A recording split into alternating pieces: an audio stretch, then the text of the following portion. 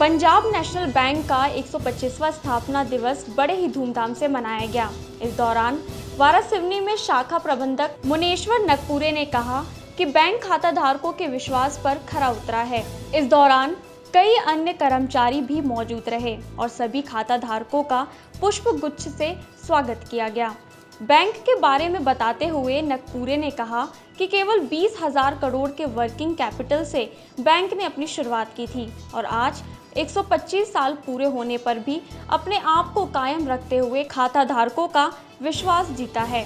इस कार्यक्रम के अंत में लोगों से आगामी चुनाव में मतदान करने की अपील भी की गई। सर, आज हमने पंजाब नेशनल बैंक की 125वां स्थापना दिवस मनाया है।